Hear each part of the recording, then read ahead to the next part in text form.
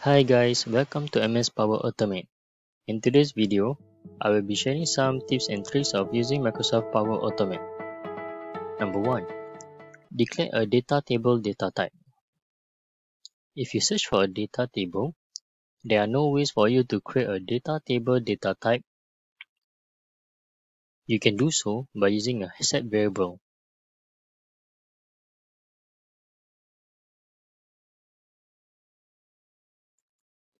First, I will declare a table name, followed by a percentage, brace, and a circumflex. This is to tell you that we are creating a column name.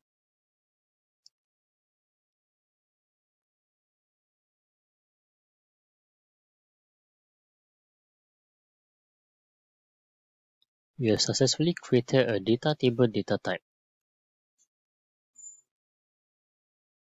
Number 2. Add a new data row.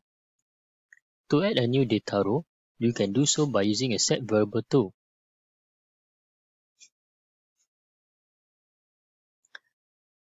We use the table name and set it as table plus the value of the column name.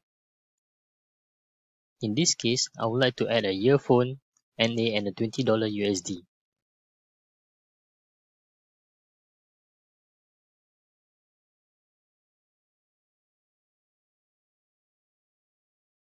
We have created a earphone and a price of $20 USD. Number 3.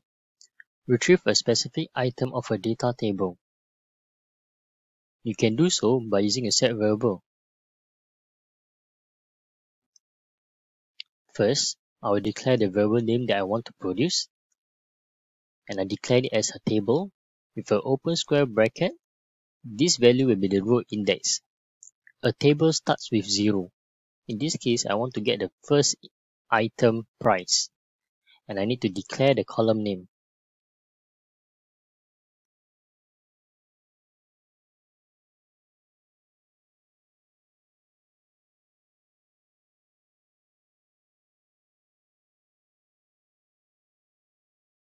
Number 4. Reassign a value of existing table row within for each loop.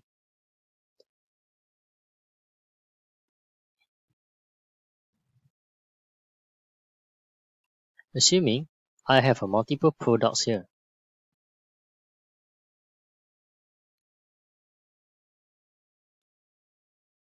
I want to replace the value of a microphone to 5 USD dollars.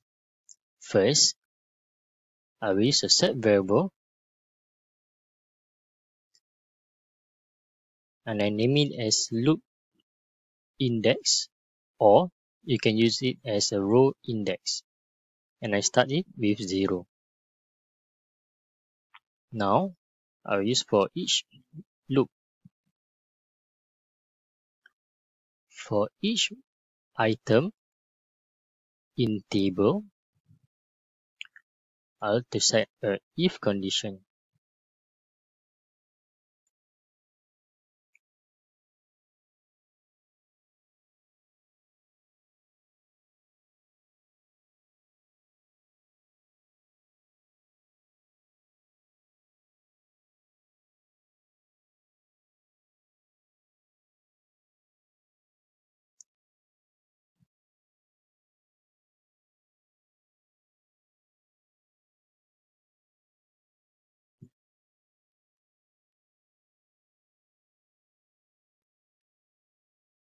If product name contains microphone, then I will set the value of the this table of the microphone.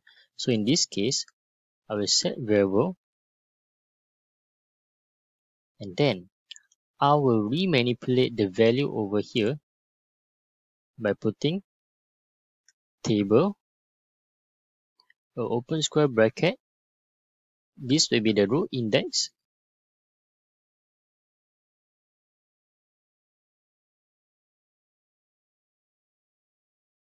and I will declare the column name.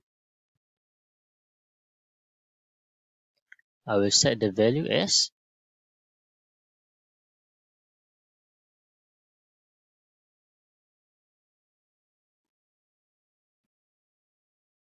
Now, you may also need to use the increase variable here to keep increasing the row index.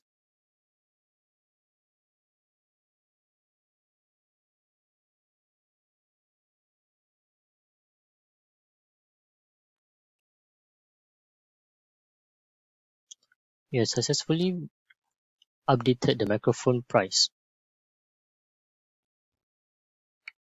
Number 5. Declare a dictionary data type. In Power Automate, they don't call it as dictionary. They are using it as a custom object data type. First, you will need to declare a custom object. You can do this by using a set variable.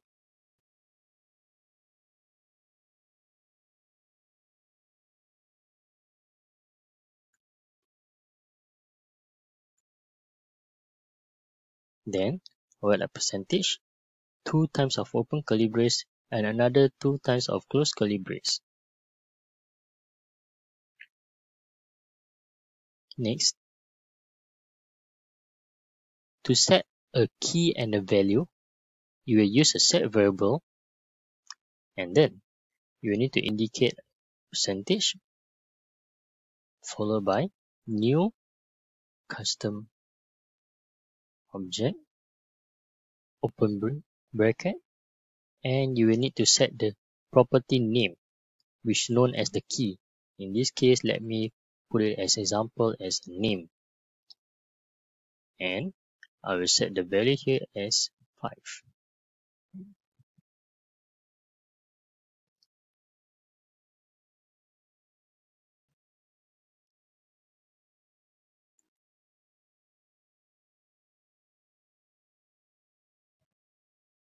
You successfully created a dictionary data type with the name and a value.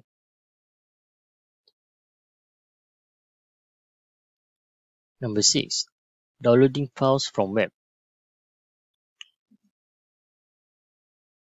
I would like to download a file from this web. Normally, how we will do is we will use a click. But you can do so by using a another action called download from web. Over here, you will need to indicate the URL. Right click, copy link address, and indicate the URL here. And you will use a get method, followed by indicating the full original path. Over here, I would like to indicate the path as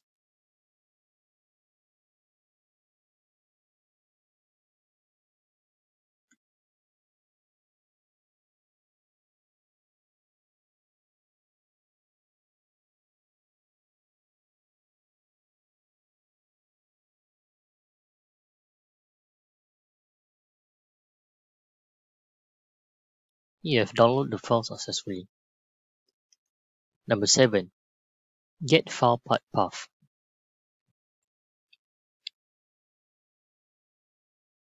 Assuming we have a file path of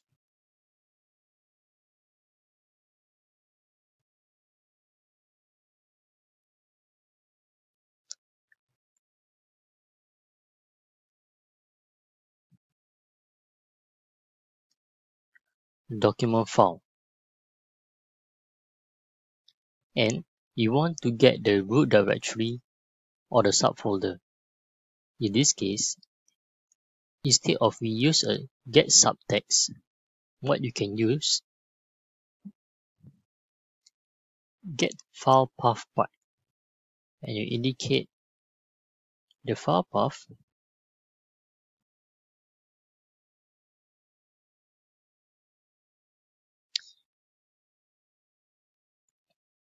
you'll be able to get the file name, the file extension, and also the root path.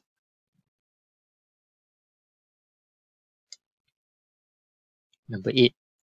Clear temp with DOS command.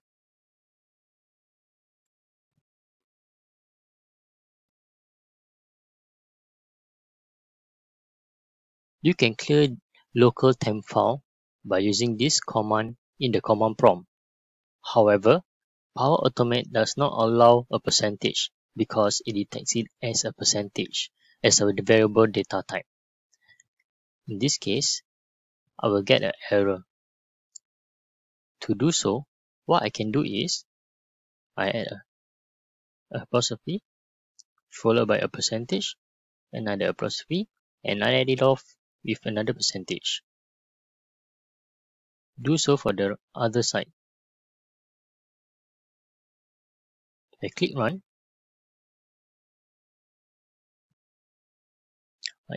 I've deleted all the rest of the local temp file. If you see this, basically it's being used with other process. You can verify it the command prompt.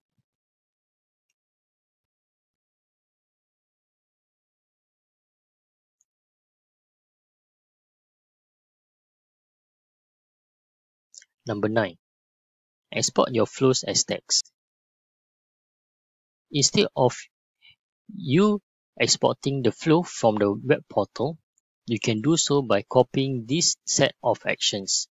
Assuming we have a chunk of text and actions, you can copy this and open a notepad and paste this, save it somewhere else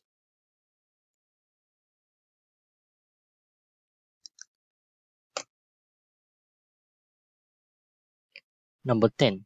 View desktop flow logs. If you navigate to the web portal under Monitor, go to Desktop Flow Runs. There will be a list of desktop flows that you have run successfully. Over here, it will only be recorded if you run a flow from this page. In this case, to show you an example, I click on this option. It, in, it indicates the list of runs. And I can take a look inside. It will show me at which stage I got a failed status.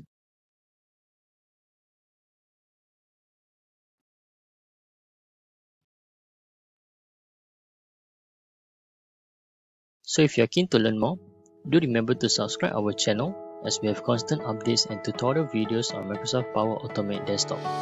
Thank you.